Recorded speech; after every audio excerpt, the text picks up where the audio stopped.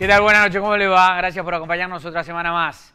Introducción breve, hoy tenemos tres invitados, pero la verdad que las elecciones y el tema sobre todo económico hoy tiene un eje importante. Otra vez, por ejemplo, empiezan a preocupar los valores del dólar. Ahora, qué eh, sociedad hipócrita que tenemos, ¿no? Porque al principio nos preocupamos porque el dólar está barato y decimos que la economía no arranca porque el dólar está este, subvaluado y después cuando empieza a crecer y empieza a picar decimos, ojo que el dólar se puede disparar, se va a disparar todo. Vamos a hablar de este y otros temas con el primer invitado, con Juan Coruchet, el presidente del Banco Provincia, que está con nosotros y lo recibimos en esta noche. ¿Qué tal, Juan? Buenas noches, ¿cómo va? Buenas noches. Gracias por venir. ¿eh? encantado. Eh, ¿Es así, digamos, tenemos que estar preocupados por el dólar o no? Baja y decimos, güey, claro, lo que pasa es que el dólar está planchado. Se desplancha, ¿no? Eh, empieza a despegar un poco y decimos, uy, se empezó a despegar el dólar. Pongamos el, el tema en perspectiva. El dólar el último año y pico ha evolucionado por abajo de la inflación. Y la suba que tuvo estos días está totalmente en línea, o te diga algo por abajo, de los números con los cuales se votó el presupuesto nacional. Así que no hay nada con lo cual está para todo preocuparse. lo que está pasando. No hay nada por qué preocuparse y como bien señalaste recién, la crítica anterior que te diría tenía un punto, era que el dólar estaba atrasando y perjudicaba a las economías regionales y al sector exportador. Eh, no es un gran salto, no es, no es para preocuparse y además recordemos que el Banco Central en todo este plazo fortaleció mucho las reservas. Ahora, cuando decís el dólar estuvo por debajo de la inflación, ¿significa que, para usar una triste frase, el que apostó al dólar perdió? En ese periodo, sí, claro, claro. Eh, sí, porque a veces la gente cree que el dólar es el gran refugio. Sí. En, en ciclos de estabilidad o inflación en bajas eh, se empieza a apreciar el peso y no siempre es así. Y, no- y en este caso fue así en el último año, Sí. por, por lo menos. Eh, la verdadera batalla electoral se va a dar en la provincia de Buenos Aires. Esto es este, una verdad política en la República Argentina, pero la economía va a tener un peso importante. ¿Qué rol juega el Banco Provincia, que es el banco más importante en la provincia de Buenos Aires, para tratar de equilibrar un poco las descompensaciones que da la economía? A ver, el banco, es, primero es el banco de todos, no es que lo vamos a jugar partidariamente. Hemos hecho muchas cosas para ordenar un banco que lo recibimos con 30 mil millones de pesos de deuda de la provincia con el banco. Esa era plata que no estaba eh, y que en situaciones este, de, de atraso en, lo- en los pagos. Y el primer año y medio este, fue de ordenamiento de las finanzas públicas y ordenamiento del banco. Esto está dando sus frutos y ha posibilitado líneas más atractivas de crédito hipotecario, que hoy andan muy bien. Este, hemos ya superado las 3.000 hipotecas. Para poner en perspectiva, en el 2015, en todo el año, el banco había dado solo 400 hipotecas. Y hoy cada 10 minutos sale una familia con la llave de la casa que se acaba de comprar con un crédito de banco de la provincia. ¿Esa es la estadística cada 10 minutos? Sí. Y, y- y en aumento, ¿eh? En aumento. Dimos casi mil hipotecas el último mes. Eh, y además, no es solo el banco. También está el Banco Nación, otros bancos públicos y varios bancos privados la- la importantes. O sea, la hipoteca ha vuelto. Ha vuelto gente- para mucha gente que antes no calificaba. Eso es muy bueno. La gente debe estar escuchando y dice, bueno, presidente del Banco Provincia, es un funcionario del gobierno de la provincia de Buenos Aires, eh, lo pone la gobernadora. o Y, es- y el Senado. Bueno, y el Senado está sí. bien, pero lo propone. Sí. Digamos, ¿Cómo hace para resistir los pedidos políticos? Vos decís, soy el, el presidente del banco de todos, de Sí. todos los este, bonaerenses, no de un sector o de un partido nada más. ¿Cómo hace para resistir los pedidos políticos? Bueno, primero es muy fácil, hay que saber decir que no, y si no, no estás para el cargo. Pero la verdad que no he tenido pe- pedidos este, raros. No hay. Eh, y, y lo- y vuelvo al ejemplo anterior. Así como durante el gobierno de Scioli la deuda de la provincia con el banco fue de 30 mil millones de pesos, en este año y medio, en ningún momento el gobierno de María Eugenia Vidal le pidió plata prestada al banco de la provincia. Y por eso ahora hay plata para tener líneas más interesantes, más atractivas para la gente, para hipoteca, para préstamo automotor, que llegamos esta semana al préstamo 25 mil en lo que va del año. Eh, y antes no había, porque si esa plata se la prestás al Estado, no está, no está para las pymes, no está para las familias, no está para la gente, ¿no? Eh, ¿Quién eh, es el que más le debe al Banco Provincia? Como deudor privado. Sí. A ver, en Mora tenemos un caso reciente que es el de Pescarmona. Históricamente es la constructora que hizo la autopista La Plata. Que, es un, que dejó un clavo grande al Banco Nación, al Banco de la Provincia. ¿Y ese cómo lo reman? Eso está en quiebra y no hubo una cautelar que trabó el cobro de los peajes y no, no es un ¿Y la verdad que es un de- desaguisado que heredamos que no tiene ¿Lo de remedio. Pescarmona es preocupante? Es preocupante sobre todo para Mendoza, porque son muchas fuentes de trabajo de calidad. Eh, para el banco son es, mucha plata, son unos 11 millones de pesos, pero este, el banco es eh, mucho más que eso. Es un banco hoy con 250 mil millones de pesos de activos. Eh, me preguntaste, el, más grande te lo digo, pero, no, no, es, lo que nos quita el sueño, ¿no? Nos quita el sueño. Además me da la sensación que son cosas que se pueden hablar tranquilamente. Ah, sí, sí. Para, no, además lo más importante, si no transmite una sensación de, de zozobra quizás el, banco tiene un nivel de mora bajo, no, no es una preocupación. Claro, yo me acuerdo del banco en otra época, bueno, cuando se tuvo que armar el fideicomiso. Eso fue los coletazos de los 90, donde hubo mucho préstamo maldado con influencia política, que se pagó muy caro porque algunos bancos, muchos del interior, tuvieron que ser privatizados a raíz de eso, y en el caso del Banco Provincia se lo rescata armando un fideicomiso que al día de hoy sigue vigente, ¿no? Este, pero que yo no administro, porque eso ya es un tema de, pasado. Hoy, la, hoy la, la mora es muy baja, los criterios de riesgo son muy saludables, no es una preocupación, y el crédito está en franca expansión, ¿no? A nivel de, no solo de hipoteca que lo dije, sino también de empresas. Eh, contame una cosa, Juan, el tenemos después, vamos a hablar con un especialista en, pymes, que es Osvaldo Cornide, que va a estar después con nosotros. Las pymes, eh, digamos, del banco, para las pymes de la provincia de Buenos Aires, ¿es una herramienta importante? Sí, sí, sí. El banco tiene más de 20.000 pymes con la cual trabaja todos los días del año y unas 100.000 cuentas corrientes. Su porcentaje es muy alto de las pymes bonaerenses. Eh, hemos tratado de mejorar la propuesta de valor y hemos sacado hace poco, para, con este objetivo, una línea al 10% tasa fija a 12 meses para aquellas pymes que tienen sus cuentas sueldo en el Banco de la Provincia. no, hay, ningún banco en la plaza que te preste al 10%. Lo hacemos justamente con este desafío que planteó María Eugenia Vidal de que el banco esté cerca de la gente y no hay tema más importante, yo creo, que ayudar a las pymes, que son los grandes generadores de trabajo. Eh, ¿Y tienen, eh, digamos, más pedidos de apertura de cuenta de pymes o van cerrando? ¿Cómo, cómo ven el flujo ese? No, el banco va creciendo todos los años un poco, pero yo le he planteado a la gerencia como Digo desafío... por el tema este que cierran las pymes, que en teoría se destruye... Bueno, pero a ver, vos sabés que la economía moderna eh, es, un poco dura en el sentido de que permanentemente genera nuevas empresas Y, se, y van menguando, achicándose o cayendo incluso otras empresas. Entonces, cuando vos ves el banco, todos los años sube pero quizás alguna, alguno dejó ese cliente y yo tenés clientes nuevos. Sí, el tema es el saldo, ¿no? Entre lo que cierra y, sí, y, sí, pues eso es desafío de la sociedad moderna, muy, es muy complejo eso. Eh, y en cuanto a microemprendimientos, ¿tienen líneas especiales para el tipo que tiene muy poca plata, pero tiene una buena idea y va con algo de plata y la buena idea lo ayudan? El Banco de la Provincia tiene la, la, empresa de microcrédito más grande del país, se llama Promesa, Provincia Microempresas, y le presta típicamente a un feriante, un taller de barrio. Yo he visitado muchos clientes eh, en el Tigre que hacen eh, mueblecito con paja y madera. Este, en La Plata me acuerdo visité un cliente que vendía este, cuchillos artesanales, eh, de, todo tipo, por ejemplo, juguetes de madera. Y bueno, se presta con otra lógica, más de conocer a la persona y mirarlo cara a cara, saber cuánto tiempo lleva trabajando y, confiar en él, aunque no tenga un buen balance. ¿Hay gente que los ayude del banco? A ver cómo sigue el emprendimiento, a ver si... Se, hace, este se, hace, un seguimiento y, el mano a mano eh, es muy importante, porque además te lo dicen los clientes cuando lo visitas. No pensé que un banco iba a confiar en mí, nunca nadie me había prestado, nunca... Este, no pensé que, podía entrar y me recibieran bien, no les creía al principio. ¿Cómo es tu relación con María Eugenia Vidal? No, muy buena. Eh, todos dicen muy buena, acá pasan todos dicen No, pero María Eugenia, ojo, pero igual, ¿eh? Pero, pero es, no te deja pasar una, o sea, es muy severa, te, te mide las pautas y te va planteando desafíos. Entonces, te digo un ejemplo mío reciente. Voy a contarle muy entusiasmado eh, lo bien que andaba las hipotecas.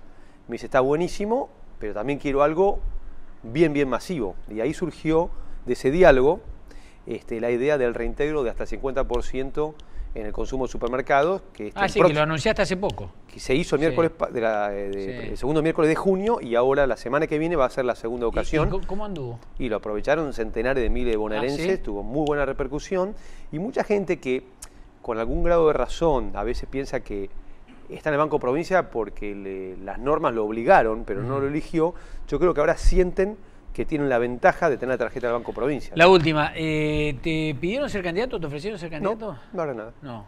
además, estoy muy contento donde estoy. De, no, serlo. sí. ¿eh? Muy bien. Juan Coruchet, gracias. ¿eh? Gracias, Fernando. Presidente de Banco Provincia. Vamos a hacer la pausa. Después vamos a hablar con Osvaldo Cornide. sabe mucho de pymes, ¿no? Él ahora es presidente de FECOBA. Después les vamos a contar.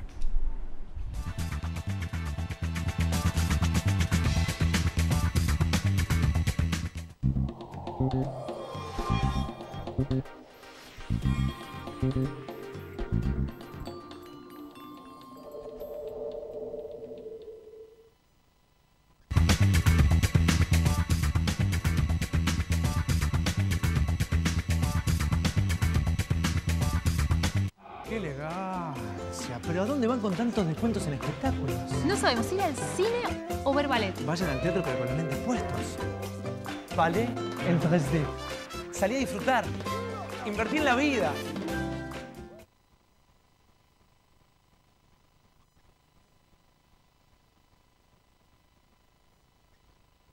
Auspicia Cámara de Diputados de la Provincia de Buenos Aires.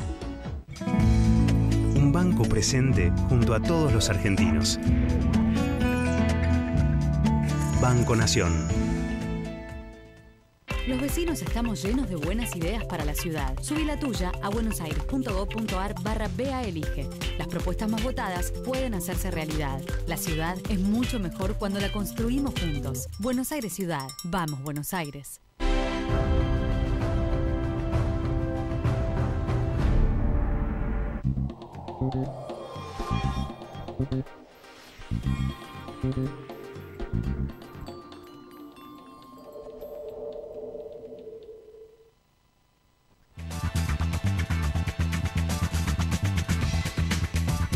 Bueno, vamos a saludarlo. Osvaldo, Osvaldo Cornide. Ahora es presidente de FECOA, que es la Federación de Comercio e Industria de la Ciudad de Buenos Aires.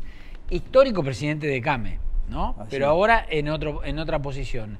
Eh, Cornide, ¿cómo, cómo está la situación de las pymes después de... Hemos hablado en este último año y medio eh, respecto del tema, pero ¿cómo está después del inicio turbulento que tuvo este año para el sector? ¿Se acomodó un poco? No, bueno, viene ya, el, el año pasado fue muy malo, ¿no? El 2016, reconocido por todos. Sí. Este, y se pensaba que este año iba Acomodarse un poco. a mejorar. Eh, ha habido en algunos sectores vinculados a la construcción, a la maquinaria agrícola, eh, bueno, al sector inmobiliario y al sector automotor, del concesionario automotor, motos. En eso ha habido una reacción, pero en el resto hay una parálisis. Es decir, hay caídas de venta que empezaron este año con caídas de 4 o 5%, ahora hay una caída de más o menos 2%, pero con respecto al 2016, que fue muy malo, quiere decir que la caída es muy grande. Y este mes eh, pasado se midió esa caída menor, pero mm, mucha gente no tuvo en cuenta que se hizo sobre la base de que las empresas eh, en general bajaron un 40% los precios por liquidación, es decir, a costa de la rentabilidad. Es decir, que muchas empresas están por debajo del punto de equilibrio. Eh, recién hablábamos con el presidente del Banco Provincia, nos decía que tienen línea de créditos interesante para las pymes en la provincia. ¿Dónde están sufriendo más las pymes en la Argentina? ¿En qué, en qué zona? Bueno, aparte de zonas, yo primero quiero aclarar algo. Vio que se habla del tema de la industria del juicio, la industria del juicio, Sí. la industria del juicio. Bueno. La industria del juicio es un tema serio, Sí. por los accidentes de trabajo, por cuando se hay un despido, por varias razones. Pero en un orden de prioridades, para una empresa, lo más importante es la caída de las ventas, el problema de la invasión de artículos extranjeros, el problema de las tarifas que han aumentado mucho. Sí, Esos son los factores más importantes. sí. ¿Dónde es más grave? Es en las zonas fronterizas, porque con el tipo de cambio, aun cuando haya aumentado, como recién se Eh, señalaba, ahora, ahora vamos a hablar del dólar. este, Usted se refiere eh, a las ciudades de las provincias fronterizas, de la gente que se va a Paraguay, de la gente que se va a Chile. Obviamente, eh, van el 50% las cosas. En Chile, en Brasil, en, en Paraguay, etcétera. Entonces, esas provincias como eh, Mendoza, San Juan. Misiones, eh, Posadas, que es, hacen cola en el puente, eh, Posadas, Encarnación, etcétera. Eso lo- los ha matado. En, en- en Mendoza cerraron 400 comercios. Ahora han sacado, yo hice un plan, yo dejé la presidencia de Cámara hace poco, y lo hablé con la gente pyme del Senado, con los senadores, de varios puntos. Sacaron uno, que es 12 cuotas sin interés. Sí. Pero usted imagínese, si usted cruzando un puente compra las cosas 50% más barato, ¿la va a comprar acá porque le dan 12 cuotas sin interés? No, la sigue comprando enfrente. Claro, claro, claro. Lo que yo no entiendo, capaz que me lo puede explicar usted, No, a ver. es por qué no se pone una medida estricta a través de la aduana y de gendarmería, donde se impide entrar mercadería que sobrepase los 100 dólares. ¿Por qué no se pone un límite al ingreso de la, Sí, un límite, como la pasa mercadería con... traída del exterior? Claro. Y no que entren y entren y entren mercadería. Eh, ahora, en vez de trabar eso, ¿no habría que pensar en algunas medidas más creativas para desarrollar, digamos, No. de frontera para adentro? No, obviamente. Acá lo que pasa en la Argentina es que está desfasada. Es decir, este dólar... Yo Eso no- le quería preguntar, ¿la suba del dólar ahora eh, afecta eh, mucho a las pymes o no? ¿O al revés? No, yo creo que mitiga un poco, Mm. porque usted tiene, por un lado, para la industria argentina, sube el poder de protección, y para las economías regionales que están ahogadas con los costos, le sube la posibilidad de el poder de compra de los productos que exportan. Se ne- todo el mundo, más o menos que está en el tema, sabe que necesitamos un dólar más alto. Lo que pasa que un dólar más alto con un plumazo significa una inflación más alta. Tiene que ser dentro de un contexto diferente. Bien. Osvaldo Cornide, gracias eh, por la visita. Muchas gracias a usted. Después de la pausa vamos a hablar con un intendente de la provincia de Buenos Aires, el lugar donde se va a dar la batalla principal en las próximas elecciones. Alguien del conurbano bonaerense. Después de la pausa.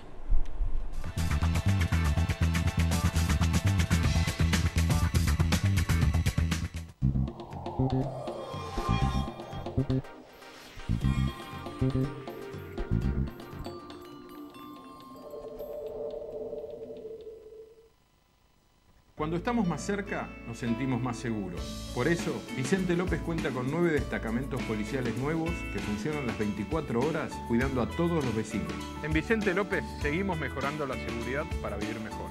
Vivamos Vicente López. Osdeneo 1825.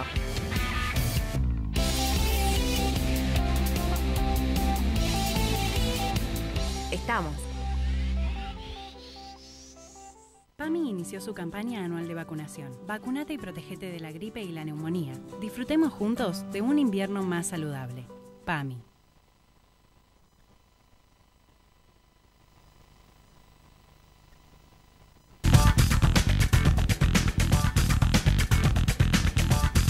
Grupo Petersen, desde 1920, construyendo el país.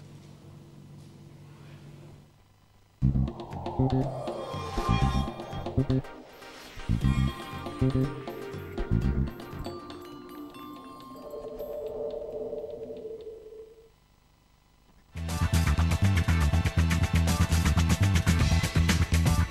80, 90.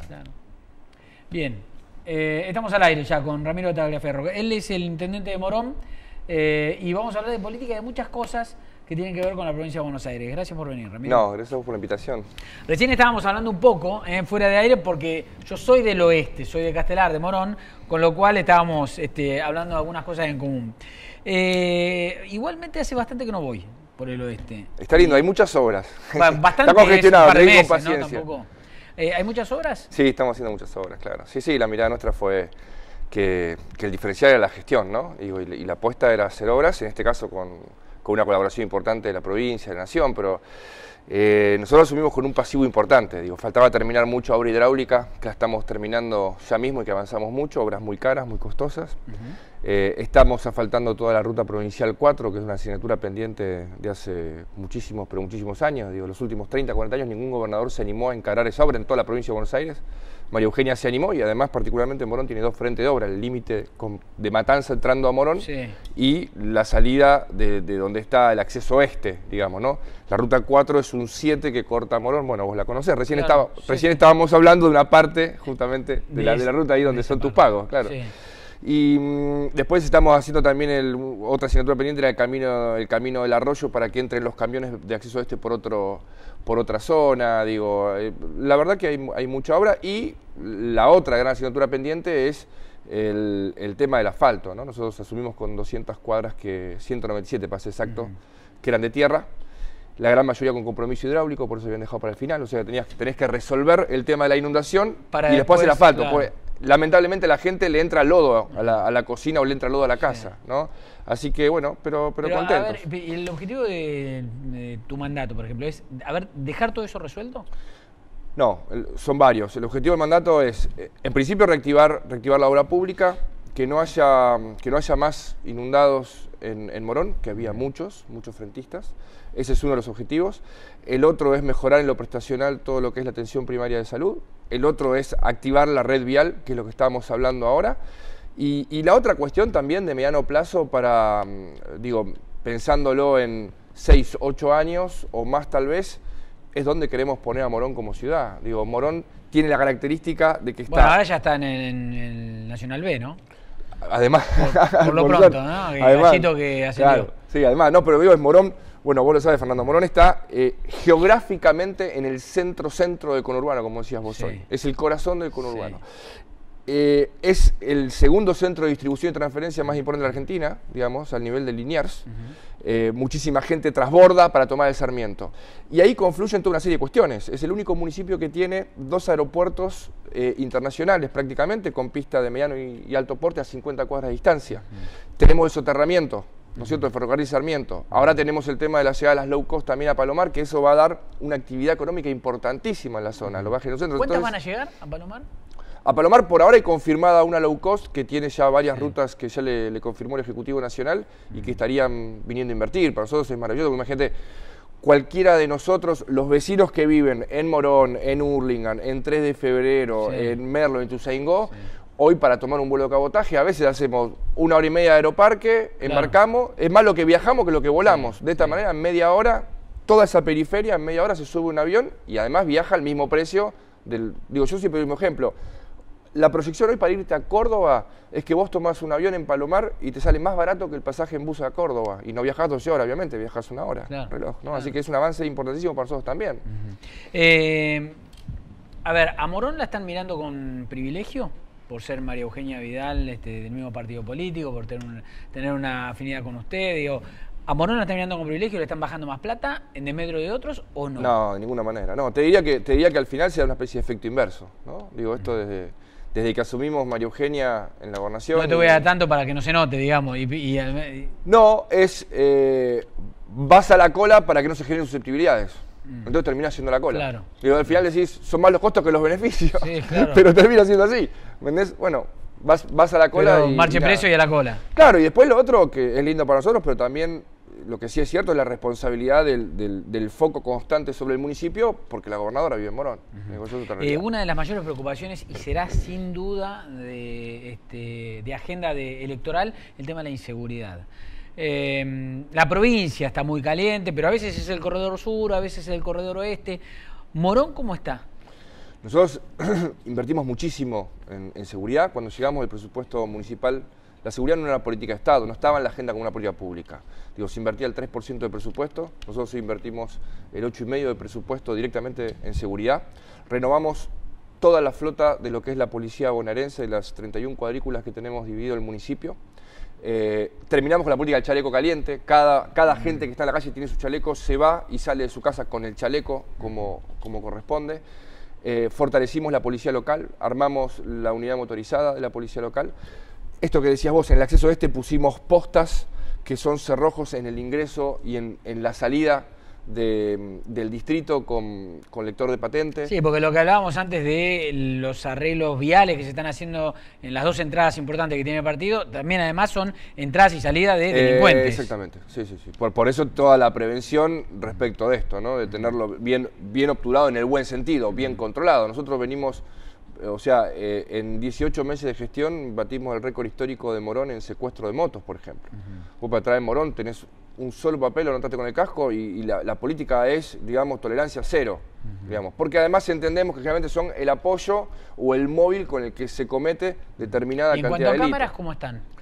Bueno, recibimos un parque bastante depreciado, ¿no? El parque nuestro era muy viejo, eran 240 cámaras, recibimos funcionando 80, hoy están funcionando 190 aproximadamente, esas 80 pusimos en valor más de la mitad y estamos eh, cerrando ya una licitación de 160 cámaras nuevas con tecnología, eran cámaras 2009, 2007, cámaras viejas, no eran ni siquiera HD, digamos. Hoy estamos metiendo domos 360, ¿no? Además estamos recuperando los espacios públicos de las plazas, tenemos micro destacamentos donde, donde tenemos la policía local como si fuera una mini central de monitoreo que monitorea el 4x4, el 360 de lo que es la plaza y aledaños con cámaras y con el rondina caminando la policía local. Y estamos haciendo con el, con el Fondo de Infraestructura mm, Municipal, vos sabés, del 2016, del endeudamiento de la provincia de Buenos Aires, que, que vino a los, a los intendentes, estamos haciendo una central de monitoreo totalmente nueva. O sea que todo esto que yo te digo, además de, de, digo, pasamos las 80 cámaras viejas, vamos a pasar a tener aproximadamente 370, 370 linkeadas a la central de ¿La monitoreo. relación con los vecinos cómo es? Con los vecinos, Con los ve- los- con los vecinos que no son del con- mismo o con partido. los municipios. Ah, Con los vecinos que no no, no, muy, no, es buena, es buena, es buena. Mira, eh, con, yo siempre lo digo, a veces llama la atención porque la gente acostumbrada a que si sos diferente partido te peleás y sos enemigo, ¿viste? O adversario. Digo, intendente- con el intendente de Merlo, con el Tano Menéndez, nos conocemos hace muchos años, jugamos juntos al fútbol, compartimos equipo de fútbol, compartimos amistades. Mm. Digo, tengo la mejor relación del mundo. Con Juan Zabaleta, una relación que a pesar de que Juan era de Morón, la construimos ahora ya de grande, porque yo siempre estuve, no estuve en el espacio que estuvo él, entonces como que charla de café, hola, ¿qué tal? Nada más. Hoy Sí. tenemos una muy buena relación de, de vecinos. Con, con Alberto Descalzo también hay algunas cosas que estamos haciendo juntos. Eh, con Matanza es más difícil. Es más difícil. Digo, o sea, la, la parte del buen vecino la tengo con el resto. No tengo nada con, con Verónica, eh, pero no construimos una relación. Digo, o sea. Eh, Bueno, puede ser deuda pendiente para, para el próximo Claro tiempo, sí. por Sí, ahí claro este, sí. después de las elecciones, pero digo, ¿por qué es clave llevarse bien con los vecinos? Pero totalmente, además, además haces un montón de cosas. Y además tus vecinos no te permiten que vos estés distanciado con el otro vecino. Te doy un ejemplo cortito para no sacarte tiempo.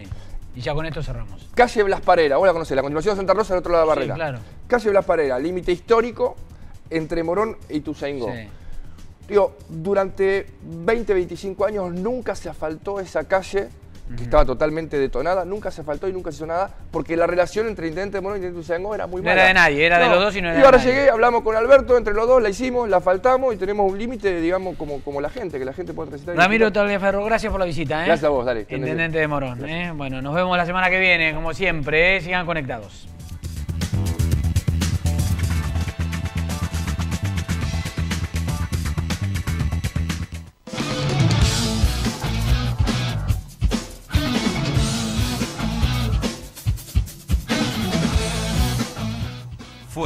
Una producción de 4D Producciones.